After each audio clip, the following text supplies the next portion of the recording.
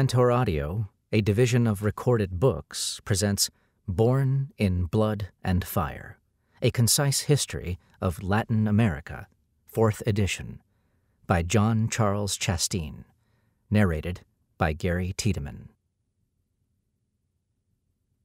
1. Welcome to Latin America. Latin America was born in blood and fire, in conquest and slavery. It is conquest and its sequel, slavery, that created the central conflict of Latin American history.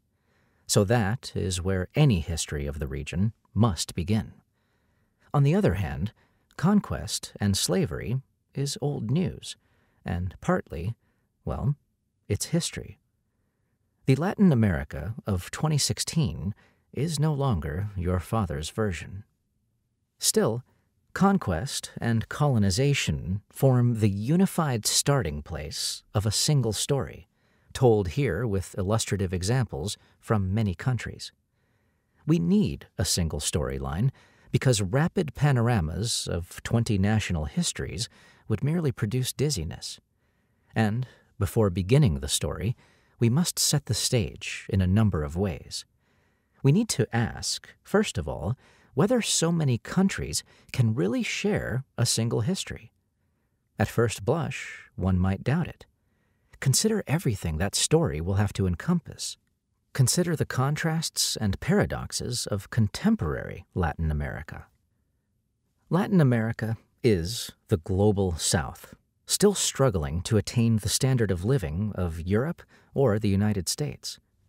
It has deep roots in indigenous cultures. Most of the world's indigenous Americans, by far, live south of the Rio Grande.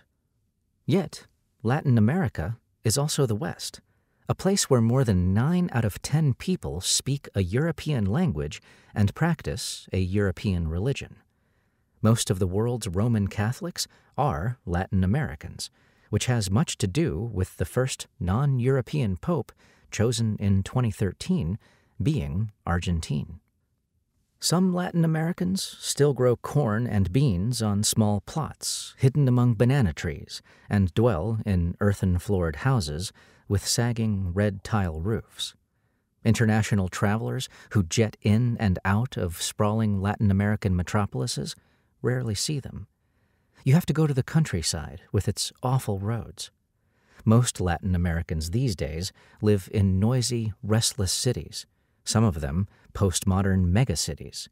Buenos Aires, Sao Paulo, and Mexico City have far outstripped the 10 million mark. Rio de Janeiro, Lima, and Bogota are not far behind. Next, consider the contrasts among countries. Brazil is a behemoth occupying half the South American continent, its population surging beyond 200 million. Mexico follows at around 120 million. Thanks partly to their burgeoning internal markets, both countries' economies have even spawned their own multinational corporations. Colombia, Argentina, Peru, and Venezuela constitute a second rank, with populations between 30 and 50 million.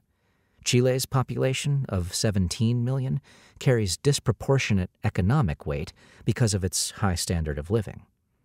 The remaining, roughly one quarter of Latin Americans, live in a dozen sovereign nations, most with populations under 10 million.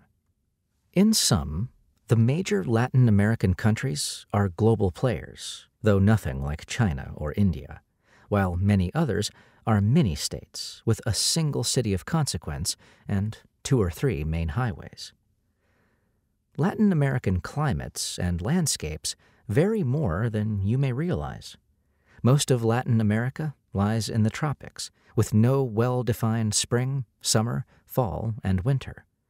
Many listeners of the global north will envision beaches replete with palms, Latin America's coastal lowlands do often match that description. But this tourist's eye view is misleading overall. Tropical highlands, cooled by their altitude, often semi arid, have played a larger role in Latin American history. Mexico City stands above 7,000 feet, Bogota above 8,000. Latin American mountains are the world's most densely populated for historical reasons. Meanwhile, Chile, Argentina, and Uruguay, sometimes called the Southern Cone of South America, lie mostly or entirely outside the tropics, with climates similar to parts of the United States. The continent's craggy southern tip is a land of glaciers and Antarctic influences.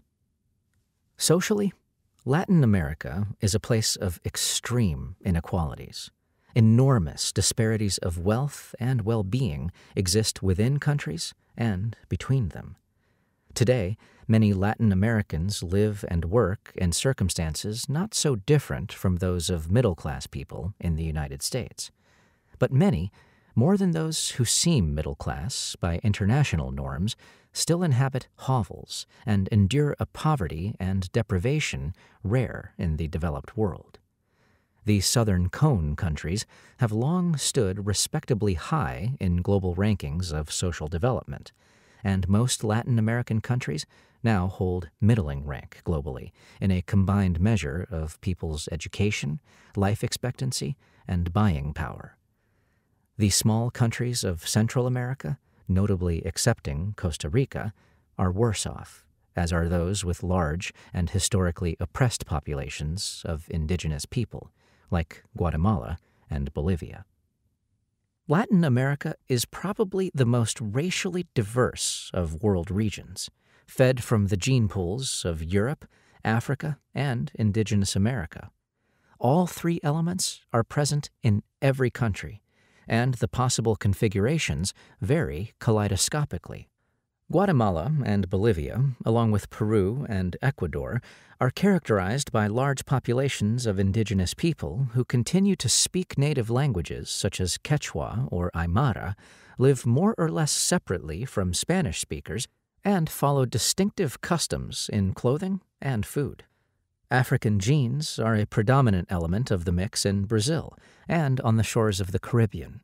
Latin America was the main destination of the millions of people enslaved and taken out of Africa between 1500 and 1850.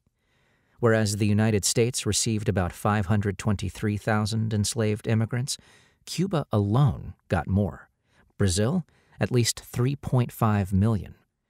In addition, there are places in Latin America where people look notably European particularly where large numbers of Italian immigrants were added to the population around 1900, such as in Argentina and Uruguay. Probably most Latin Americans consider themselves, to some degree, of mixed race, or mestizo, a key concept in Latin American history. Returning to our initial question, then, do these 20 countries in their startling variety really have a single history? No, in the sense that a single story cannot encompass their diversity. Yes, in the sense that all have much in common. They experienced a similar process of conquest and colonization. They became independent more or less the same way, mostly at the same time. They then struggled with similar problems in similar ways. Looking back after two centuries of independence, one sees that similar trends have washed over the entire region, giving Latin American history a well defined ebb and flow. Not your father's version. Lately, it's been more flow than ebb.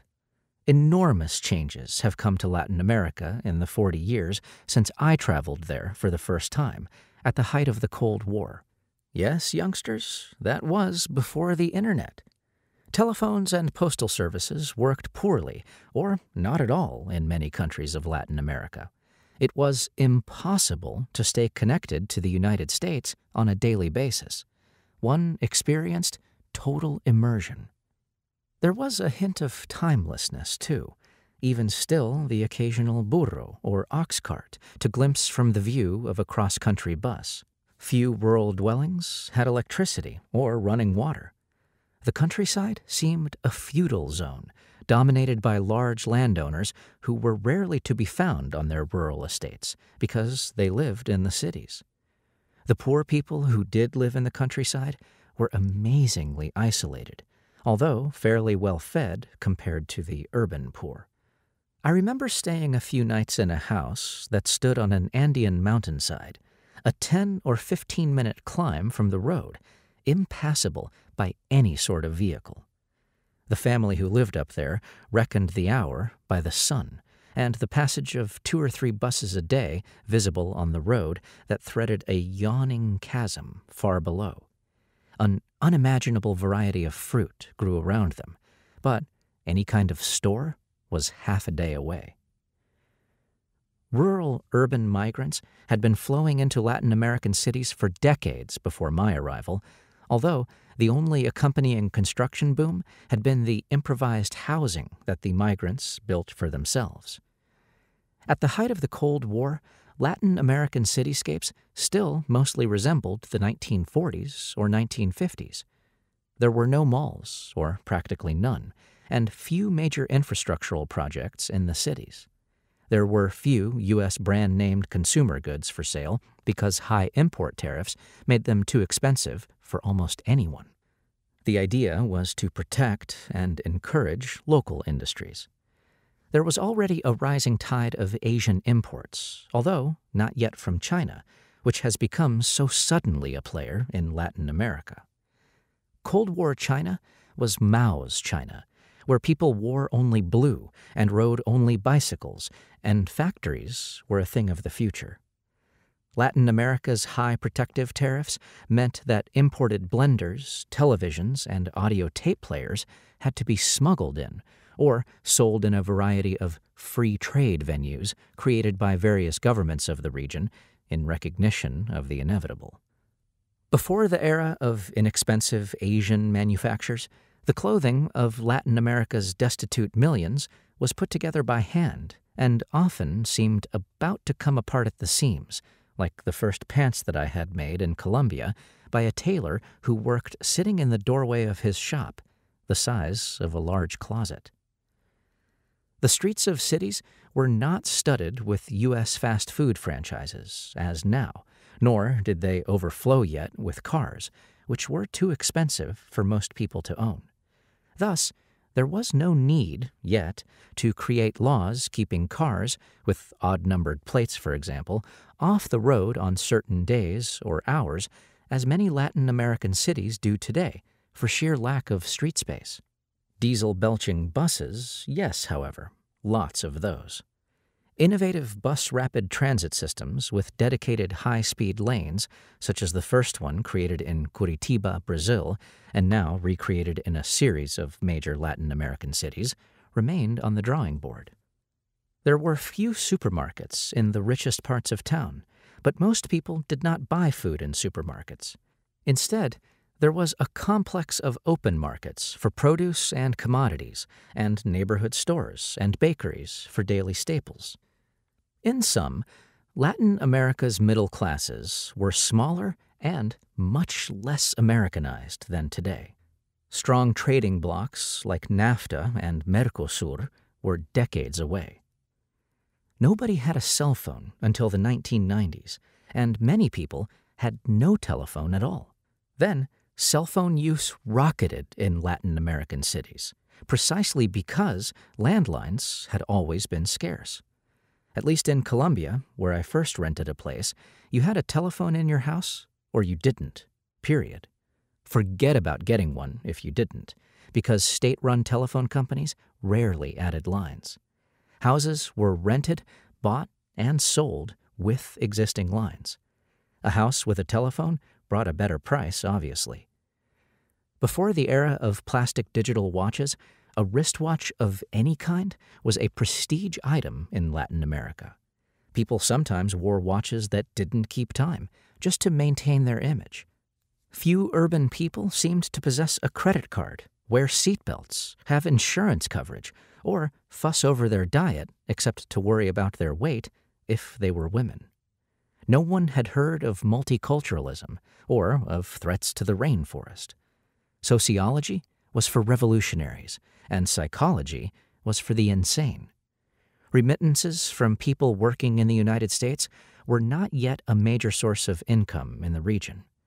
Mexican immigration to the United States was growing, but not yet a flood, and Central American immigration had hardly begun. Large cities were well known hotspots, but overall, street crime was moderate by comparison with recent decades. Yes, those were the good old days, for me anyway. I noticed, by the way people treated me, that I had become better looking. At greetings, I learned to embrace my buddies and shake hands with their girlfriends. The relationships between men and women seemed to me very old fashioned and stylized. My first Spanish language flirtations were supervised by dutiful younger sisters who were assigned to surveil me constantly. Fortunately, they could be bought off with money to go get a popsicle, or, better yet, go see a movie. In Mexico, at least, girls still did a lot of courting at the evening paseo, when people walked in circles around the town plaza, half in one direction and half in the other, occasionally switching so that everyone eventually saw everyone. Daytime park benches were full of teenagers kissing because young people didn't have cars. Wait, maybe that hasn't changed. The evening meeting place, on the other hand, was at the girl's house, under the watchful eye of her family, not inside, but at the doorway, or even, although this was pretty old fashioned even then, at the window, he outside, she inside, separated by wrought iron bars. Companionate marriage, focused on the personal compatibility of the couple, was far from unknown, but didn't seem to prosper. Male infidelity was the rule rather than the exception. I'm not so sure how much has changed in that regard. But clearly, these days, middle class women are much more likely to hold a job, and middle class husbands are more likely to accept, at least in principle, that they ought to share household duties. Many thought patterns were quite conservative. People rarely went to Mass, but their Catholicism was automatic and unquestionable. Young people of a respectable family did not cohabit before marriage the ubiquitous public presence of Catholic religious devotion had yet to be challenged by growing numbers of evangelical Christians. Perfectly ordinary middle class people had live in maids who earned an unbelievable pittance, inhabited by tiny windowless cubicles at night, and were treated, whether cruelly or kindly, as a different category of human being. Often they came from the country, where, it was believed, people were more honest and hard-working. Urban middle-class families with provincial roots might bring trustworthy servants with them to the city. City girls, even very poor ones, were unlikely to stay long as live-in maids, simply because they had more alternatives. So, savvy housewives with means preferred to hire country girls who didn't know their way around. Eventually, though, even the country girls found something less humiliating to do than being a servant. The muchacha of any age has walked out again, a perennial problem for the ama de casa. Only a tiny minority attended universities, and most who did studied to be lawyers, doctors, engineers, or architects. As students, they did not take part time jobs waiting tables, for example, even if they needed the money class consciousness. Some were born to serve, apparently, others to be served. During the 1980s and afterward, those who were born to be served moved increasingly into high rise apartment buildings or strongly enclosed apartment complexes with armed guards at the gate, an ugly reality that is likely to shock anyone who has never experienced it. At least, I would like to think so. This is the aspect of Latin America that most disturbed me personally, and it hasn't gone away. Still today, the expanding middle classes of Latin America are trying to raise perfect children in a defensive crouch. Although indicators of social well being are improving, Latin America's distribution of wealth remains among the most unequal in the world. What nobody expects these days, however, is a revolution. And that's precisely what was expected of the Latin America I encountered in the 1970s. Revolutionary organizations spray painted slogans on every available urban surface, featuring the Communist Party's hammer and sickle, the iconic visage of Che Guevara, and an alphabet soup of acronyms representing worker federations, guerrilla armies, and student organizations. Walls sprouted jagged crowns of broken glass embedded in concrete, as families with something to defend fortified themselves against the urban poor. A population explosion, as they named it, was underway when I got to Latin America. Latin American women had high fertility rates, and 20th century improvements in public health were lengthening life expectancies. Demographers read the tea leaves and foretold disaster Hunger and deprivation on a vast scale seemed the inevitable result. The threat of impending social cataclysm hovered over everything. No one suspected that the women's interest in having lots of children would drop so precipitously as their horizons expanded in the cities. But that was happening by the 1980s, and today's Latin America's population is graying faster than it is growing. The future has a way of not turning out the way you expect. During the Cold War, when the Soviet Union rivaled the United States militarily, Latin America became a sort of battleground or geopolitical chessboard. Marxist guerrillas and nationalist regimes squared off against their own armed forces, which were allied with the U.S. military. That story will be told in detail toward the end of the book.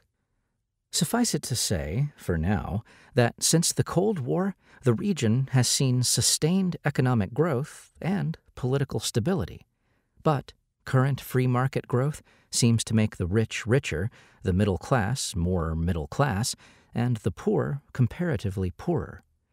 In Latin America, where the idea of a middle class majority is not a reality, but rather a fond aspiration for the future, that kind of growth can produce more losers than winners.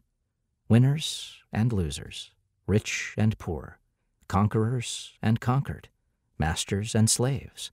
That is the old, old conflict at the heart of Latin American history. Aspects of it go right back to 1492. Europeans no longer ride on the backs of indigenous porters, as they once did in Colombia, or in sedan chairs carried by African slaves, as in Brazil.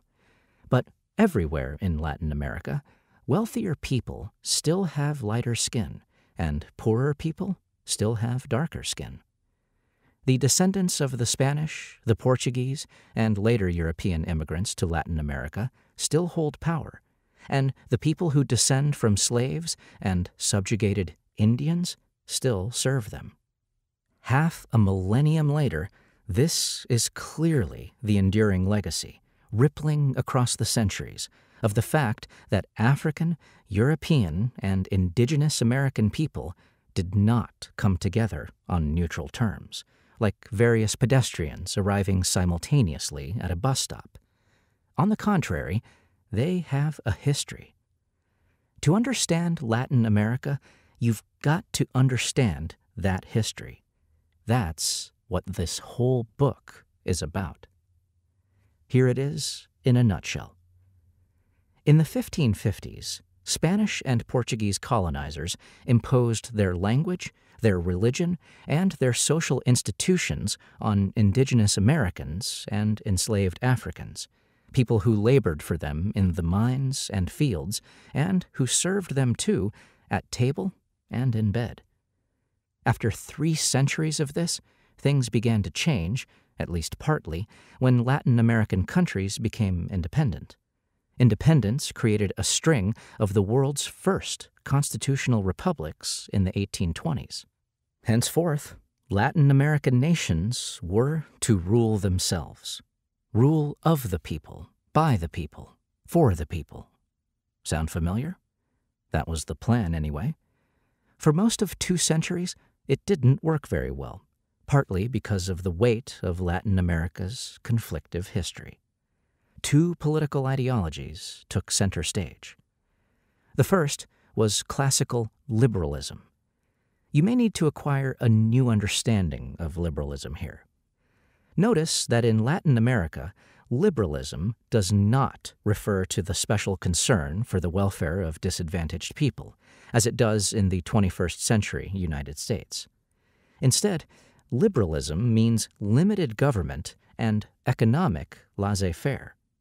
This is a larger, more historical, more international use of the word liberalism, referring, in short, to the core principles of the U.S. Constitution a complex of values and practices that developed in the 1600s and 1700s, largely in France and England. Some call it classical liberalism. Liberal ideology favored progress over tradition, reason over faith, universal over local values, and the free market over government control.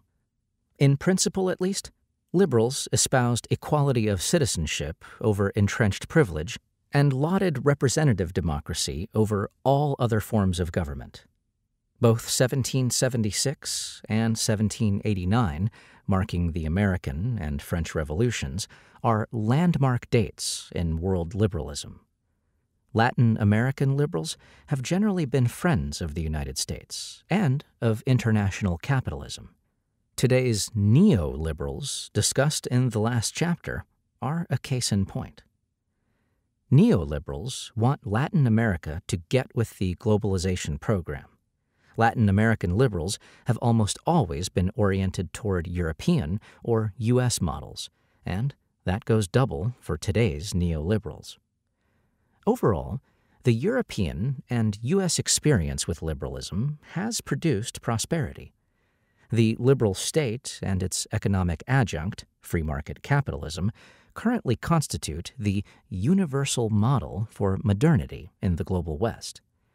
Latin America's actual experience with liberalism and capitalism, on the other hand, has been mixed, as we will hear. Unfettered economic laissez faire has rarely produced durable, equitable prosperity in Latin American countries. Rather, it has tended to further empower and benefit people already at the top of these starkly stratified societies. Sometimes it has created nightmare scenarios. The second emerging political ideology, liberalism's great challenger in Latin America, was nationalism. Here is another big historical idea to fine tune in your thinking especially if you tend to regard nationalism simply as a threat to free trade. Over the last two centuries, the surface of the entire globe has been converted from kingdoms and empires into sovereign nations, a breathtaking transformation. Nationalism is thus a major theme in modern world history, sometimes destructive, sometimes constructive. In a nutshell, Nationalism is the idea that everyone ought to be part of a nation, and that nations should rule themselves. The last part makes nationalism the basic ideology of decolonization around the world. The first part, about everyone belonging, links ruling elites to the people they rule and also links the ruled to each other. The stronger those links are, the stronger the nation. Nationalism is neither right nor left on the political spectrum. In Latin America, nation building has been a long term project carried out over the entire 19th century in artistic circles, government ministries, and eventually public schools. In the 20th century, nationalism has rallied the masses and challenged liberal values like free trade. Nationalists want Latin America to follow a different drummer. Resisting outside control and influence has always been one of their strongest impulses. Nationalists counter the appeal of universal models of modernity with an appeal to national uniqueness and authenticity. They think in terms of a national family which must take care of its own, especially its weaker members. Some Latin American nationalists are conservatives who value local traditions, most especially religious ones. Today, however, most Latin American nationalists are socialists or social democrats who stand to the left of liberals on the political spectrum. Today, nationalism challenges liberalism from the left in country after country. Most countries of Latin America have nationalist presidents supported by those who have benefited least from globalization. Liberalism and nationalism have alternated in ascendancy overall for a century, and their rivalry isn't over yet. Latin American history involves much more than politics and economics, however. Latin American history also involves rich culture and fascinating people, not to mention considerable blood and fire. Before we begin our story, however, there is a final consideration. Old Thinking on Latin America. Latin America today requires new thinking, but there's plenty of old thinking still around. This concise history is for U.S. listeners who are encountering Latin American history for the first time. Such listeners need an acquaintance with old thinking on Latin America because examples of it float freely in our popular culture and continue to influence our ideas. A thumbnail summary will serve the purpose. Latin American history, in the traditional U.S. view, has long been a story of failure. Until roughly the 1930s, the interpreters of Latin America focused largely on race and culture, considering the Latin American varieties defective goods. Hot blooded Latins with too much non white blood, according to this outmoded idea, simply lacked the self discipline and the brains to make stable, prosperous, democratic societies. As Catholics, they lacked a Protestant work ethic to make work not just a necessity, but a virtue. And their tropical climates further discouraged economic activity with debilitating heat and too many sensuous satisfactions, such as papayas and passion fruit, quite literally growing on trees. In this version, Latin American history was racially, culturally, and environmentally determined, and, more or less, inescapably so. Between 1940 and 1960, World War II and its intellectual aftershocks put that sort of determinism out of style. U.S. historians of Latin America replaced the former villains of the region's history those pesky indigenous and African genes, with new bad guys, backward mentalities, and traditional social structures that would have to be modernized so that Latin America could advance along the developmental trail blazed by other countries. While the modernization theory was an advance over racial and environmental determinism, it maintained existing stereotypes. Greedy landowners and backward rulers took over from congenital laziness and tropical heat as explanations for Latin American problems. Those explanations continued to focus the onus of responsibility on Latin America itself. During the 1960s, however, historians of Latin America became convinced that earlier interpretations of regional problems were a convenient way to blame the victim. European colonialism and outside intervention and the struggle of oppressed people to rise up against their oppressors, here, they thought, were the true explanations of current political turmoil.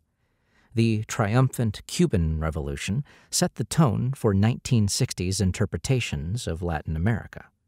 Historians theorized that Latin America's historically subordinate position in the global economy explained its failure to modernize.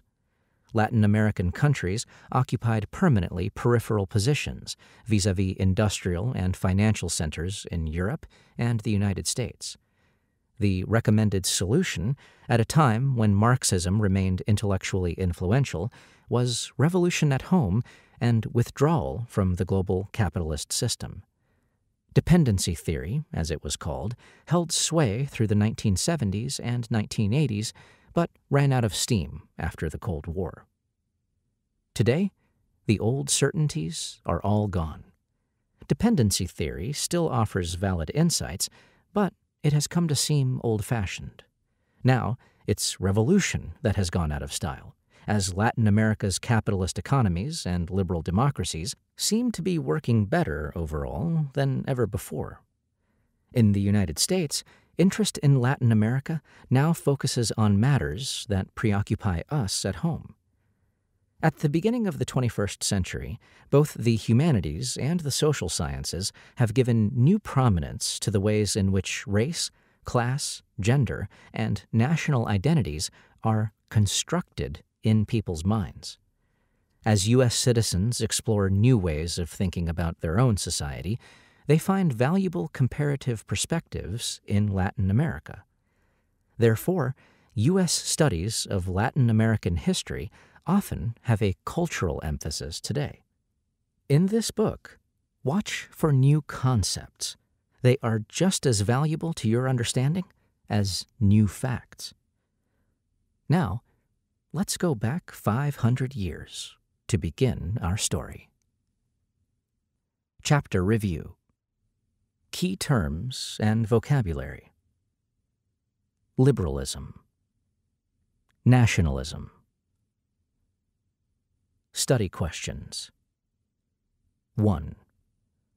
Can you describe contrasts among various Latin American countries?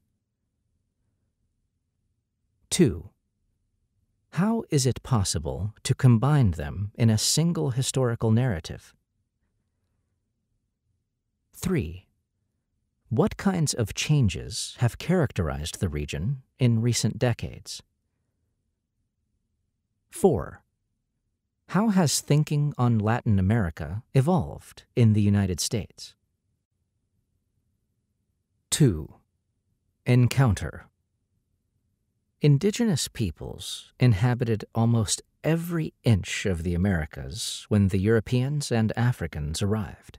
Deserts and forests were less densely populated than fertile valleys, but no part of the continent lacked people who lived off the land and considered themselves part of it. The encounter between Native Americans and Europeans constitutes a defining moment in world history.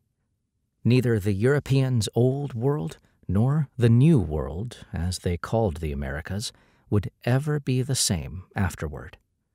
For Latin America, Conquest and colonization by the Spanish and Portuguese created patterns of social domination that became eternal givens, like the deep and lasting marks of an original sin. The Iberian invaders of America were personally no more sinful than most. They came to America seeking success in the terms dictated by their society riches, the privilege of being served by others, and a claim to religious righteousness. It makes little sense for us to judge their moral quality as human beings because they merely lived the logic of the world as they understood it, just as we do. The original sin lay in the logic, justified in religious terms, that assumed a right to conquer and colonize. One way or another, the European logic of conquest and colonization soured the encounter everywhere, from Mexico to Argentina. The basic scenario varied according to the natural environment and the indigenous people's way of life when the European invaders arrived. Patterns of Indigenous Life The indigenous peoples of the Americas had adapted themselves to the land in many ways.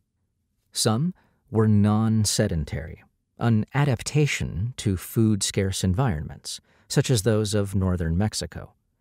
Non sedentary people led a mobile existence as hunters and gatherers, and movement kept their groups small and their social organization simple. Often they roamed open plains. The early Spanish explorer, memorably surnamed Cabeza de Vaca, described non sedentary people who lived in Texas and across northern Mexico, mostly in family groups, gathering annually to enjoy particularly abundant resources, such as the ripening of natural cactus groves. Plains occupy a wide swath of interior South America, then inhabited by tribes of hunters and gatherers. Not forests, neither were these exactly grasslands at the time of the encounter. Instead, they bristled with various kinds of scrub that, as in the northeastern Brazilian area called the Sertão, might be thorny and drop their leaves in the dry season. The Pampas peoples, who gave their name to the Argentine grasslands, were also non sedentary. Other indigenous Americans were forest dwellers. Hunting was important to them too, but the abundant rainfall characterizing most forest environments allowed them to depend on agriculture in a way that the non sedentary people could not. And so, forest peoples were often semi sedentary. Their agricultural practices were adapted to thin tropical soils. Thin soils? Yes. The exuberant vegetation of tropical forests produces a misleading impression.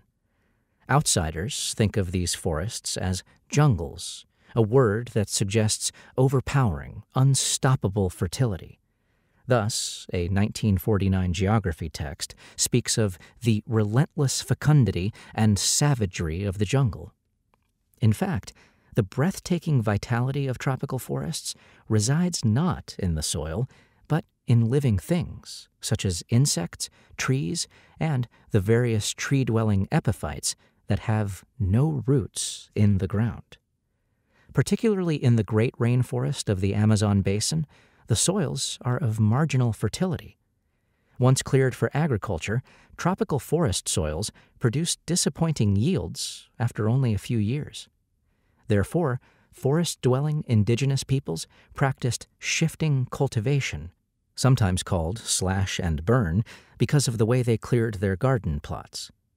Semi sedentary people built villages, but moved them frequently, allowing old garden plots to be reabsorbed into the forest and opening new ones elsewhere. Shifting cultivation was thus a successful adaptation to one of the world's most challenging natural environments. Semi sedentary societies, like the forest dwelling Tupi, the best known indigenous people of Brazilian history, organized themselves by tribes and by gender roles, but not by social class. Nor did they build empires. Finally, some indigenous people were fully sedentary. Permanent settlement, usually on high plateaus rather than in forests, made their societies more complex, and some constructed great empires, especially the fabled Aztec, Inca, and Maya empires. Not all sedentaries had empires, however. What all had in common were stationary, permanently sustainable forms of agriculture. For example, the capital of the Aztec Empire, more populous than Madrid or Lisbon, was fed by quite an ingenious method. Tenochtitlan was surrounded by lake waters on all sides, and in these waters the inhabitants of the city constructed garden platforms called chinampas. Alluvial deposits periodically renewed their fertility. The builders of the Inca Empire had their own elaborate form of sustainable agriculture, involving terraced slopes, irrigation, and the use of nitrate rich bird droppings, called guano, for fertilizer. A permanent agricultural base allowed the growth of larger, denser conglomerations of people, the construction of cities, greater labor specialization, all sorts of things. Not all were good things. Whereas the non or semi sedentary people tended toward fairly egalitarian societies, in which outstanding individuals became leaders thanks to their personal qualities, fully sedentary groups were strongly stratified by class. Aztecs, Incas, and Mayas all had hereditary nobilities that specialized in war. Note that the names Aztec and Inca refer to empires and not, strictly speaking, to their inhabitants at all. The rulers of the Aztec Empire were a people called the Mexicas, who gave their name to Mexico. The warlike Mexicas were relative newcomers to the fertile valley where they built their amazing city, Tenochtitlan, in the shadow of great volcanoes, but they inherited a civilization that had developed in Mexico's central highlands over a thousand years. For example, the gargantuan Pyramid of the Sun, the largest pyramid on Earth, was built long before the Mexicas arrived. In the early 1400s, the Mexicas were only one among many groups who spoke Nahuatl, the common language of city states in the region. But they conquered much of central Mexico during the next 100 years. Tenochtitlan, the imperial capital, was a vast and teeming complex of towers, palaces, and pyramids that, according to the flabbergasted Spanish adventurer Bernal Diaz, rose like a mirage from the waters of the surrounding lake, linked to the shore by a series of perfectly straight and level causeways. We were astonished, and said these things appeared enchantments from a book of chivalry, wrote Diaz, describing the Spaniards' first sight of Tenochtitlan. From an imposing capital city in a high Andean valley far to the south, the even larger Inca Empire had grown just as rapidly and recently as had the Aztec Empire. The Inca capital was called Cusco, meaning the navel of the universe. Today, one speaks of the Incas, but the name Inca actually referred only to the emperor and his empire. Ethnically, the people of Cusco were Quechua speakers, and they too drew on a long history of previous cultural evolution in the Andes. Cusco's architectural marvels, earthquake resistant masonry walls with interlocking stones, were an old trick among Andean builders. Heirs to ancient civilizations, the Aztec and Inca empires were newer and more fragile than they appeared. The Mayas were less empirically inclined.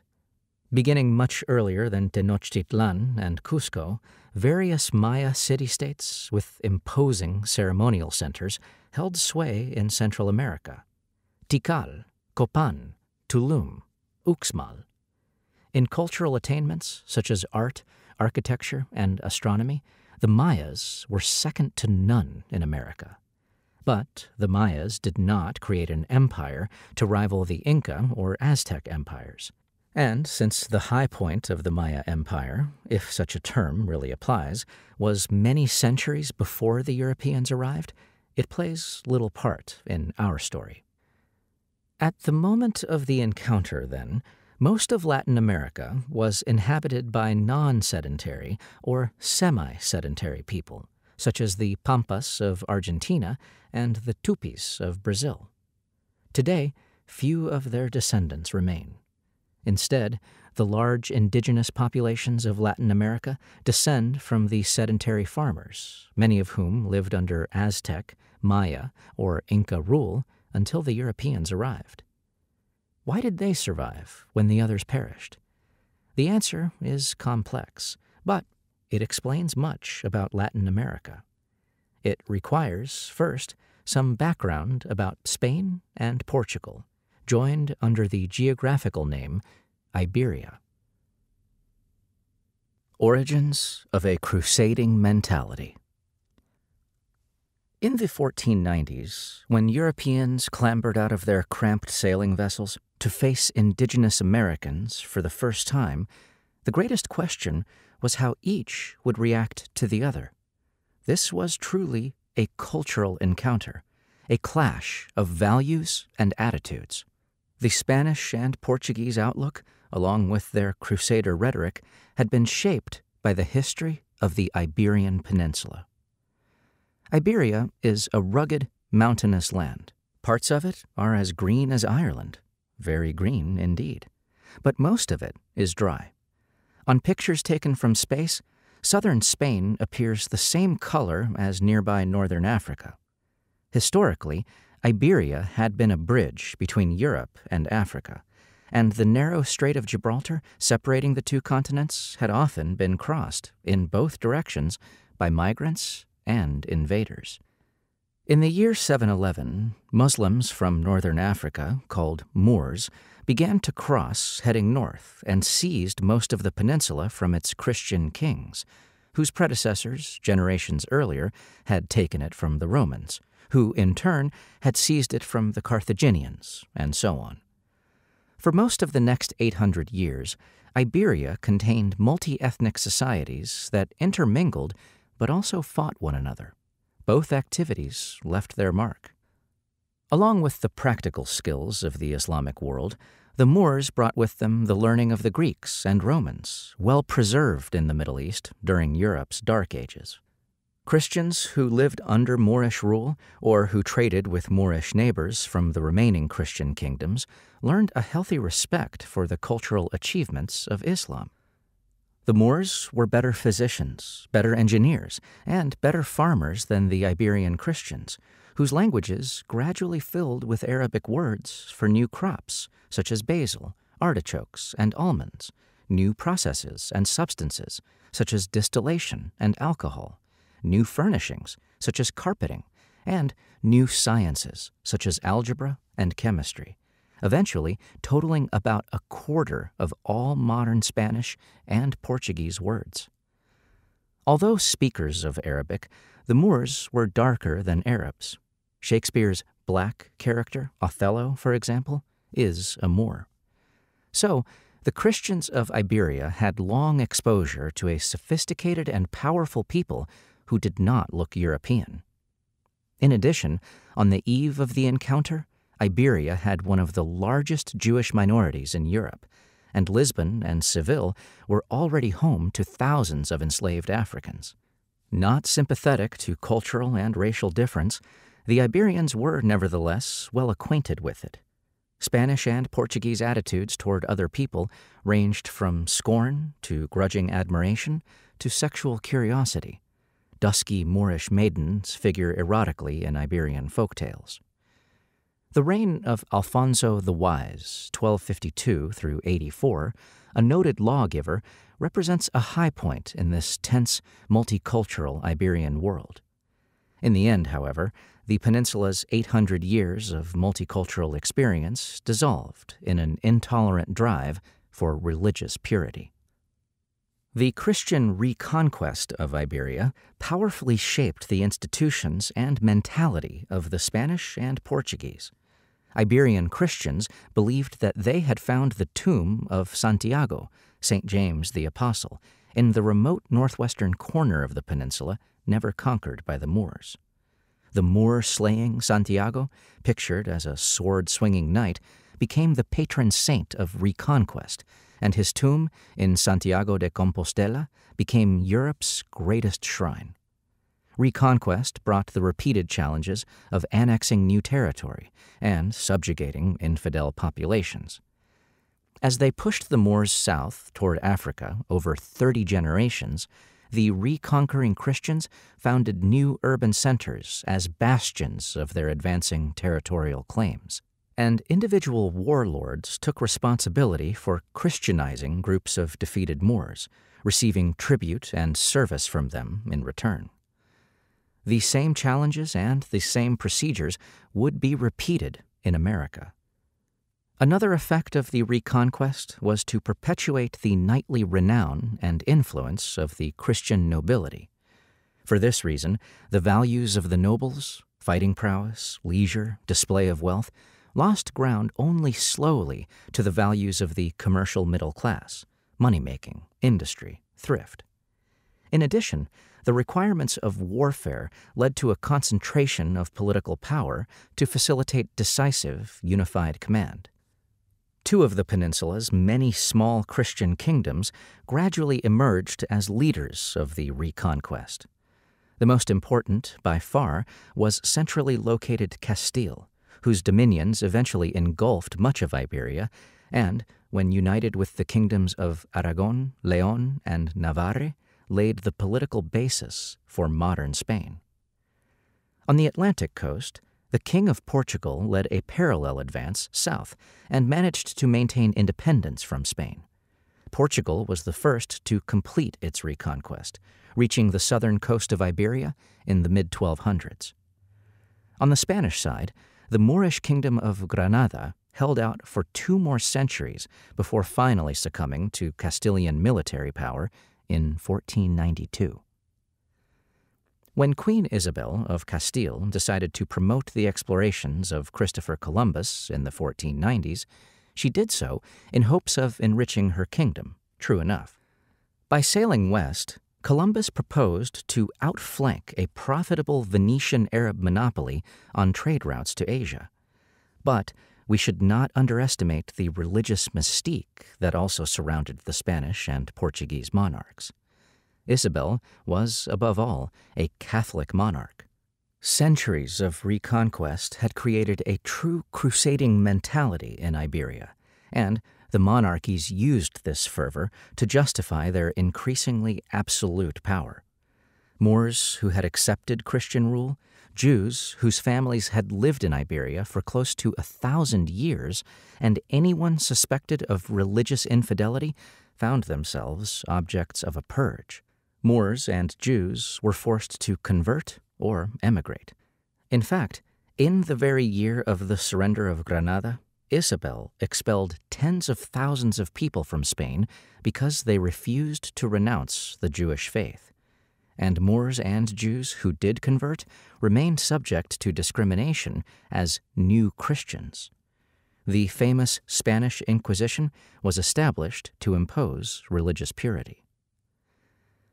During the 1500s, Catholics and Protestants began fighting bitterly in Western Europe, and the monarchs of a unified Spain led the Catholic side, pouring prodigious resources into the war effort. Recall that in 1588, the Spanish Armada attempted to invade Protestant England. Overseas exploration also took on religious significance. The earlier Christian reconquest in Portugal allowed the Portuguese to extend their crusading activities into Africa ahead of Spain. As Portuguese ships edged down the coast of Africa during the 1400s, bringing back gold and slaves, they found religious justification in tales of a lost Christian kingdom that supposedly lay beyond the Sahara, waiting to be reunited with the rest of Christendom. Isabel's decision to fund the voyages of Columbus was Spain's bid to catch up with Portugal. Thus, the two Iberian monarchies, strengthened politically by the Reconquest, became the first in Europe to sponsor major overseas exploration, and they arrived in the Western Hemisphere neck and neck. Although the Spanish sponsored expedition of Columbus arrived in America first, the difference was less than a decade. Let us start with the Portuguese, who had pioneered the navigational skills and naval technology needed to get there. The Portuguese colonization of Brazil exemplifies what happened when the Europeans encountered indigenous people who were not fully sedentary. An initial look at Brazil will help us appreciate the unique qualities of the very different and far more famous encounter of the Spanish with the fully sedentary peoples of indigenous Mexico and Peru. The Brazilian Counterexample The first Portuguese fleet arrived in Brazil in 1500. Like Columbus a few years earlier, the Portuguese commander Pedro Alvarez Cabral was bound for India, but in contrast to Columbus, he actually did get there. Cabral had no intention of sailing around the world. Instead, he was sailing from Portugal down the west coast of Africa and around its southern tip into the Indian Ocean. To catch the best winds, he had swung far out into the South Atlantic on his southward voyage. So far out, in fact, that before turning back east, he bumped into Brazil. Like Columbus, Cabral did not know exactly what he had found but he knew that it was not India. After naming Brazil the island of the True Cross, Cabral hurried on to his original destination. Brazil seemed unimportant to the Portuguese at the time. Just a few years earlier, they had succeeded in establishing a practical route to the fabled riches of South Asia, which Columbus had failed to do. For the rest of the 1500s, the Portuguese concentrated on exploiting their early advantage in the Far Eastern trade. Portuguese outposts elsewhere reached from Africa to Arabia, India, Indonesia, China, and Japan. Portuguese ships returned to Europe perilously overloaded with silks and porcelain, precious spices, pepper, nutmeg, cloves, and cinnamon, and Persian horses, not to mention gold and silver. Monopoly access to these riches made Portugal, for a time, a major player in world history. Brazil offered nothing comparable to India in the eyes of Cabral or his chronicler, Pero Vaz de Caminha. Caminha's curious description of what he saw on Brazilian shores presented a vision of a new Garden of Eden, paying particular attention to the fact that the indigenous people there wore no clothes. They go around naked, without any covering at all. They worry no more about showing their private parts than their faces. The Portuguese sailors plainly found indigenous women attractive and inviting, but the only other thing that seemed to have potential for sale in Europe was a red dye made from the Brazil wood tree. The name of this export product quickly replaced the original name of Island of the True Cross, just as economics upstaged religion overall in the colonization of Brazil and Spanish America. Still, religious ideas must not be discounted.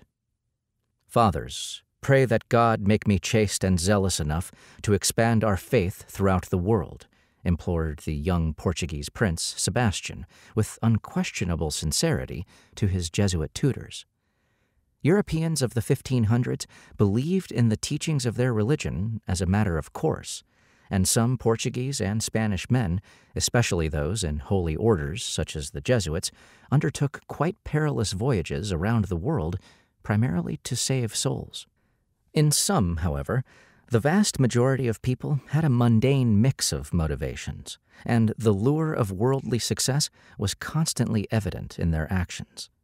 The idea of spreading Christianity provided, above all, a compelling rationale for laying claim to huge chunks of the undiscovered world. Consequently, religious ideas became particularly influential at the level of formal rationalization. Whenever the invaders of America had to explain and justify their actions, they invoked religious goals for reasons no more sinister than the common human wish to present oneself in the best light. Aside from their immortal souls, forest dwellers like the Tupi did not have very much that the Europeans wanted, so they were left more or less alone at first. Along the Brazilian coast, some mutually advantageous trade developed when Tupi men were willing to fell the Brazil wood and float the logs to trading stations in return for useful items such as steel axes. Occasionally, Portuguese castaways or exiles went native to live among the indigenous people and found a different kind of worldly success, becoming influential figures in their localities and, in a manner foreshadowed by the chronicle of Pero Vaz de Caminha, fathering dozens and dozens of children, the beginnings of a process of racial mixing that has characterized the history of Brazil. The King of Portugal was too preoccupied with his Asian empire to think much about Brazil until the 1530s, when the appearance of French ships along the Brazilian coast made him fear for his claims there. To secure them, he finally sent Portuguese settlers to Brazil. Suddenly, the Portuguese did want something that the Tupi possessed their land.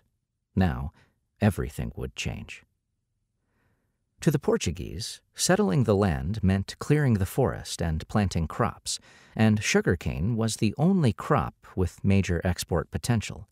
It could be milled and boiled down into concentrated, imperishable blocks packed in wooden chests that fit easily into the small sailing ships of the day, and it brought a high price in Europe, where sugarcane did not grow. These qualities made sugarcane the cash crop of choice for centuries first in Brazil and later in the Caribbean and throughout the lowlands of tropical America.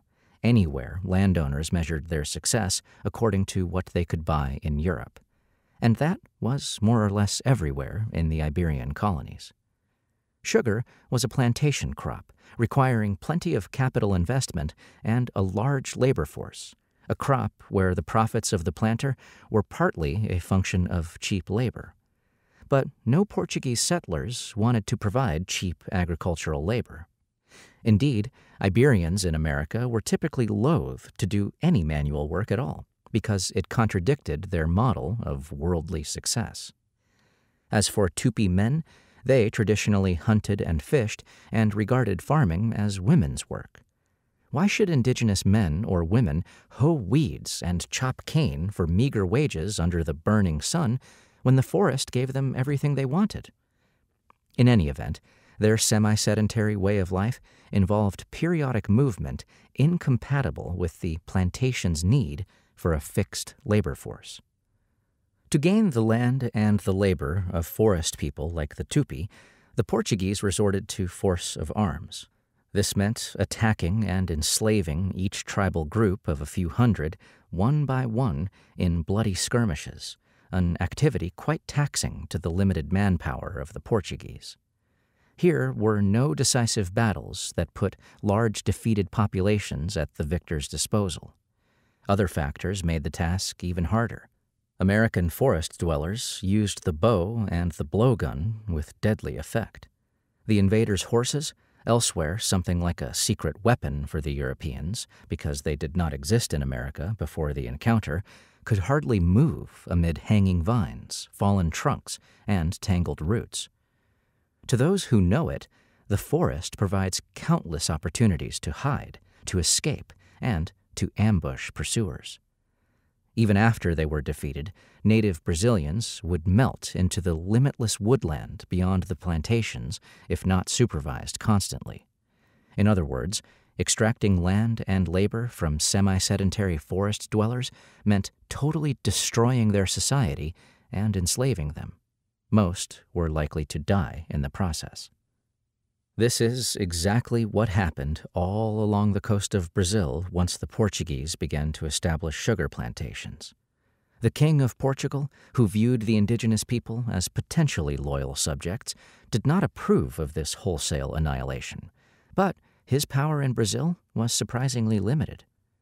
In an attempt to settle 2,000 miles of coastline on the cheap, the king had parceled out enormous slices to wealthy individuals called captains who promised to colonize and rule in his name. Significantly, the most successful were those who minimized conflict with the indigenous people. Pernambuco, on the very northeastern tip of Brazil, became the model sugar captaincy, partly because the family of its captain established an alliance by marriage with a local chief. Most of the captaincies failed, however. By the mid 1540s, indigenous rebellions threatened to erupt up and down the coast. On the splendid Bay of All Saints, the Tupinamba, a subgroup of the Tupi, had demolished one of the most promising settlements. So, in 1548, the Portuguese king stepped up the colonization of Brazil by appointing a royal governor and building a capital city, Salvador also called Bahia, on that site. Over the next half century, between the planters' efforts to enslave the Tupinamba people and certain disastrous efforts to protect them, the Tupinamba vanished from the area of the sugar plantations. Particularly lethal were European diseases, against which indigenous people had no natural resistance. Contagion ran rampant among Tupinamba slaves in the close quarters of the plantations. Any gathering of native populations facilitated this demographic catastrophe. The same ship that brought the first royal governor also brought the first black robed Jesuit missionaries to Brazil. Famous for their intelligence and zeal, the Jesuits moved quickly to establish special villages where they gathered their indigenous flock to teach them Christianity and defend them from enslavement. Despite all good intentions, however, epidemic European diseases decimated the indigenous inhabitants of the Jesuit villages. On the plantations, too, indigenous slaves were fast disappearing because of disease and despair. To replace them, the Portuguese bought slaves in Africa and crowded them into the holds of Brazilian bound ships. By 1600, Africans were rapidly replacing indigenous people as the enslaved workforce of Brazilian sugar plantations. The surviving Tupinamba either fled into the interior or intermarried and gradually disappeared as a distinct group. This pattern was to be repeated throughout Brazil as sugar cultivation spread. Africa and the slave trade. In several parts of Latin America, Africans totally replaced indigenous laborers in the 1600s. How were so many people enslaved and taken out of Africa? Why did they survive to populate Brazil and the Caribbean while people like the Tupi died? Now that Africans have entered our story, never to leave it, we should consider the part they played in the encounter. The encounter brought together people from three continents to create new societies. But, as we have heard, the Africans and the Iberians were not total strangers.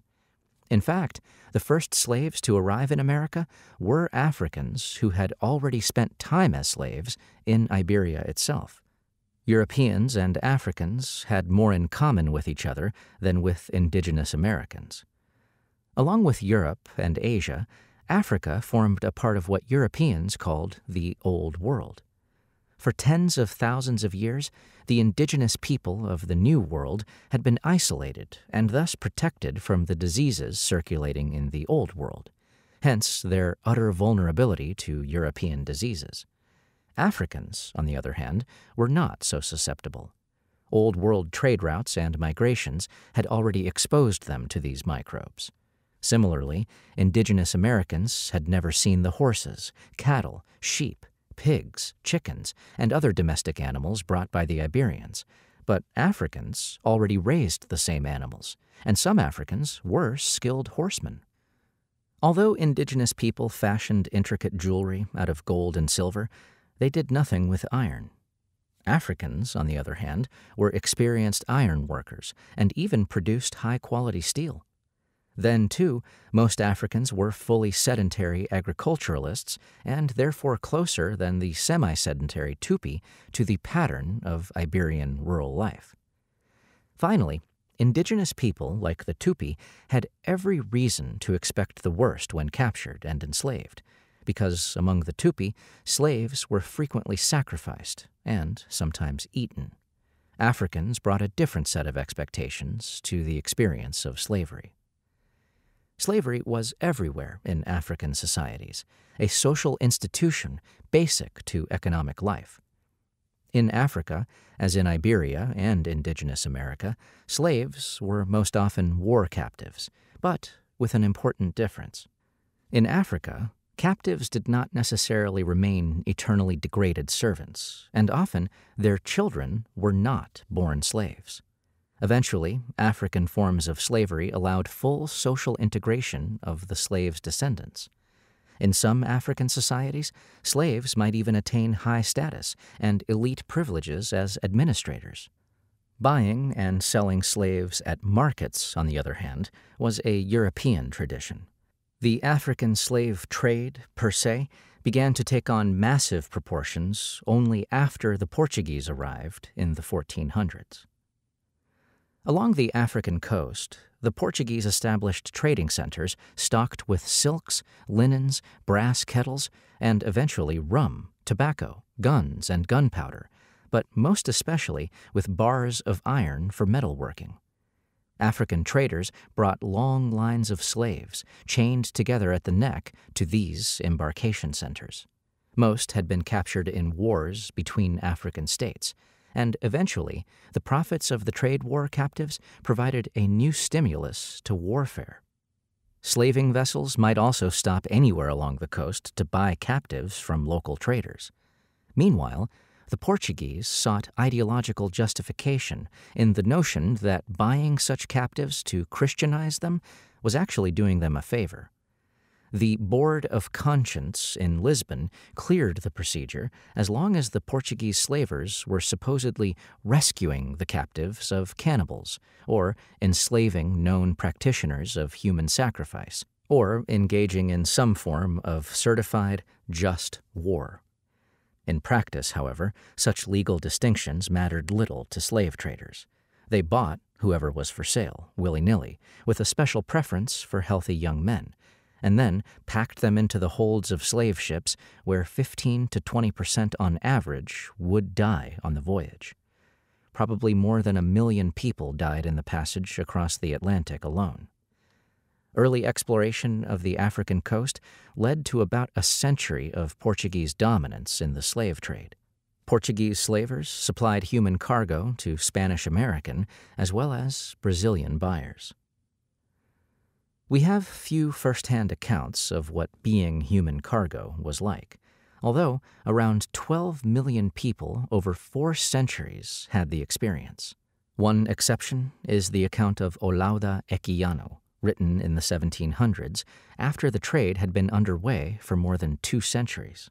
Equiano describes his confusion and despair when arriving aboard ship to encounter the claustrophobic horror of the dark, foul, and narrow cargo spaces. Not until he found a few other people who spoke his language did Equiano learn that he was being taken to work in the white man's land. Enslaved Africans came to Latin America in diverse groups, speaking many different languages, originating in three widely separated areas of Africa. The first area to be affected by the slave trade was West Africa, from Senegal to Nigeria. Here, a coastal belt of tropical forest gives way farther inland to savanna, the Sudanic belt, and eventually to the beginnings of the Sahara Desert. This is a special part of Africa, traversed in a great arc by the Niger River, the cradle of many cultural developments. Beginning about 5,000 years ago, Bantu-speaking people set out from the area around the mouth of the Niger River in great migrations, spreading their culture east and south over much of the continent. Along the course of the Niger, a thousand years ago, arose kingdoms famous in Europe for their wealth in gold. Enough of that gold had trickled north across the Sahara in camel caravans to excite the interest of medieval Europeans. We hope you enjoyed this preview. To continue listening to this audiobook on Google Play Books, use the link in the video description.